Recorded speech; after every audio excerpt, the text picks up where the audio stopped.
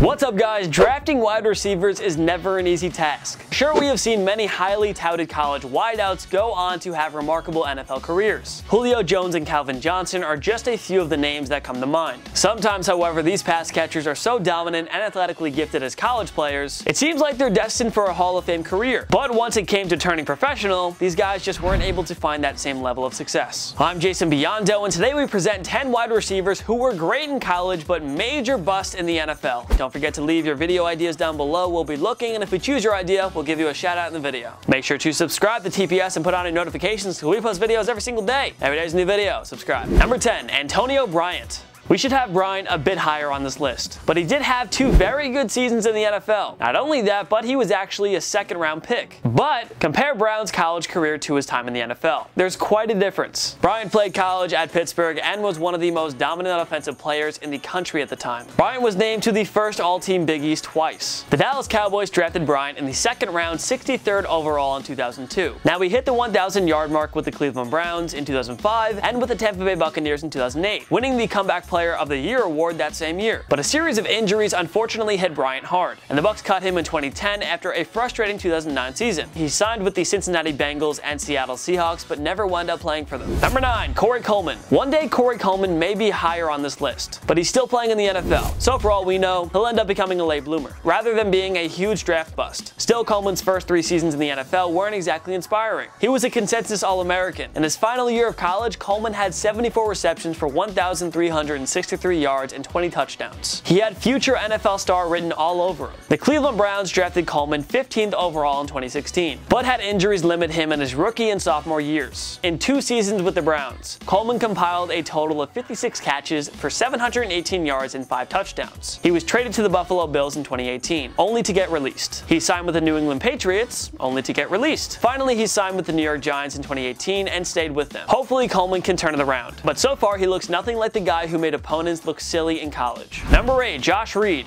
The crafty 5'10", 210 pound wideout played three seasons at LSU. After a strong sophomore year, Reed performed nicely in his third and final college season, notching 94 receptions for 1,740 yards and 7 touchdowns. In 2001, he was named a consensus All-American selection, and he was named to the first team All-SEC twice. Reed was drafted by the Buffalo Bills in the second round, 36th overall, but unfortunately Reed wasn't able to bring his college success over to the NFL level. He only started 52 games over his 8 NFL seasons seasons, all with the Bills. Reed's best season was in 2008 when he had 56 receptions for 597 yards and one touchdown. He left the Bills after the 2009 season and signed with the San Diego Chargers in 2010, only to be released. And with that, Reed was out of the NFL for good. Number 7. Troy Williamson. The Minnesota Vikings clearly thought big things of Troy Williamson. They had traded perennial Pro Bowler franchise icon and future Hall of Famer Randy Moss to the Oakland Raiders in exchange for their 2005 first and seventh round picks. Minnesota used Oakland's first round pick 7th overall on the South Carolina wideout. Williamson posted solid numbers in college, breaking out in his third and final season with 43 receptions for 835 yards and 7 touchdowns. As a bonus, Williamson was also a special teams returner. Unfortunately, Williamson just wasn't able to produce at the NFL level. No injuries, no off-the-field issues, none of it. He just wasn't the impact player that Minnesota had hoped he would be. Williamson recorded a total of just 79 receptions for 1,067 yards and 3 touchdowns in a trio of seasons. He spent bits of two seasons with the Jacksonville Jaguars, but Williamson only caught 8 passes for 64 yards and 1 touchdown there. He was out of the NFL after the 2009 season and simply went down as one of the biggest draft disappointments of the 2000s. Number 6. Troy Edwards Louisiana Tech star had one of the greatest college seasons ever in 1998. He caught a jaw-dropping 140 receptions for 1,996 yards and wait for it, wait for it, 27 touchdowns. Yeah, we're serious. He earned a consensus All-American selection as well. The Pittsburgh Steelers drafted Edwards with the 13th overall pick in 1999, pairing him with the future franchise legend of Hines Ward, who signed this, actually, that's him. Hey, cheers Hines, get him in. Edwards had a promising rookie year, finishing with 61 catches for 714 yards and 5 touchdowns. But it was all downhill from there. He never came close to those stats again and lasted just two more years in Pittsburgh. Edwards played briefly for the Jacksonville Jaguars, Detroit Lions, and St. Louis Rams as well. For his career, Edwards had just 203 receptions for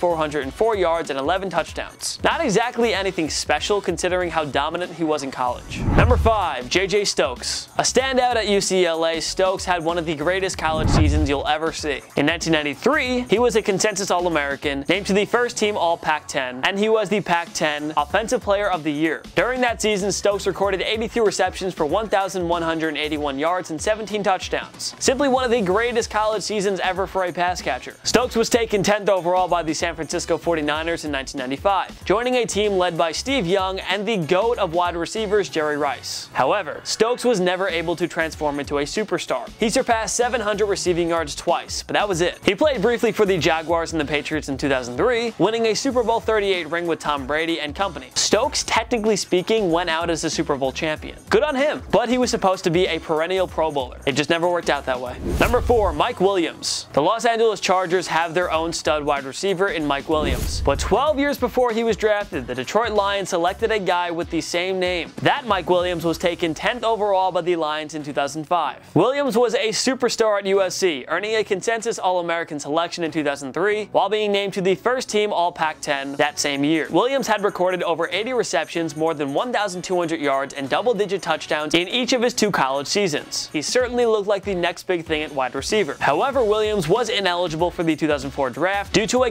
controversy about his eligibility. The following year, the Lions took a chance on Williams and it didn't pay off. Williams played two seasons with the Lions but never caught more than 29 passes in a single year, and he only recorded a total of two touchdowns. He played briefly for the Oakland Raiders, Tennessee Titans, and Seattle Seahawks. But same thing, he just never broke out, and Williams was out of the NFL following the 2011 season. He tried out for the CFL, but that didn't work out either. Number 3. Peter Warrick. You couldn't ask for much more from the Florida State wideout. The man was an unstoppable force during his time with the Seminoles. He was a consensus All-American in 1998 and 99, and he was named to the first team All-SEC three times. He was also an elite special teams return weapon. He led Florida State to a 2000 Sugar Bowl victory over Virginia Tech, where he was named MVP. Everything was pointing towards a beautiful career in the NFL. The Bengals drafted him fourth overall in 2000, and he spent five years with the organization. However, his only somewhat impactful season was in 2003 when he had 79 receptions for 819 yards and 7 touchdowns. Other than that, his numbers were never really that good. He was on the 2005 Seattle Seahawks team that reached Super Bowl 40, but was out of the NFL shortly after. He tried out for the CFL Indoor Football League and Continental Indoor Football League, but unfortunately, to no avail. Number 2. Justin Blackmon. A lot of the time, a wide receiver prospect is practically a sure thing to succeed in the NFL. You just felt like that was the case with Justin Blackmon, the Oklahoma State product whom the Jacksonville Jaguars drafted 5th overall in 2012. It was hard for anybody to complain about the pick at the time. He won two Paul Warfield trophies. He was named a unanimous All-American twice, and he was named the 2010 Big Ten Offensive Player of the Year. The Jaguars drafted Blaine Gabbert with their first overall pick the year before, so Jacksonville fans had every reason to get excited about their young QB wideout duo. But in short time, they realized that it wasn't going to work out. Blackmon was arrested for drunk driving before his rookie season. Before his sophomore year, he was suspended for violating the NFL substance abuse policy. He was suspended a second time during the season as well. He sadly couldn't stay out of trouble, and he was arrested again for drunk driving in December 2015 and was never reinstated by the NFL. He played just 20 games over two seasons with the Jaguars, totaling 93 receptions for 1,280 yards and 6 touchdowns. Number 1. Charles Rogers. The Michigan State product had all the makings to be one of the NFL's all-time greats. Rogers listed at 6'3", 220 pounds, had the size and practically every quality you look for in a great wide receiver. Rogers was one of the top college players in the country during his time with the Spartans. Rogers caught 68 passes for 1,351 yards and 13 touchdowns in his final year. He had 27 total TDs in two seasons with the Spartans. And on top of that, Rogers was a 2002 unanimous All-American, and he was named as part of the first team All-Big Ten twice. The Detroit Lions drafted him with the number 2 pick in 2003, after the Bengals took Carson Palmer with the top selection. Unfortunately, Rogers only played a total of 6 games through his first two NFL seasons. Having suffered a broken clavicle, that cut his 2003 and 4 campaign short. Rogers was hit with a four-game suspension in 2005 for violating the league's substance abuse policy. In all, he only played 15 games over a three-year span with the Lions, recording a total of 36 receptions for 440 yards and four touchdowns. The Lions released Rogers in 2006, and he was out of the NFL for good shortly after. He was arrested multiple times after his playing career. It was reported in 2017 that he was working at Uptown Motors in Fort Myers, Florida. Which other wide receivers were great in college but flops in the NFL? Join me in the comments section below. Make sure to follow myself and TPS on social media. We post great content all the time. Subscribe to my YouTube channel. I post post videos every single week. If you want more of me, you should go there. If you like this video, give it a like. It takes one click right down there. Smash that like button. Subscribe to TPS because we post videos every single day. Every day's a new video. Subscribe. Of course, thank you so much for watching. I'm Jason Biondo. Money! My knee.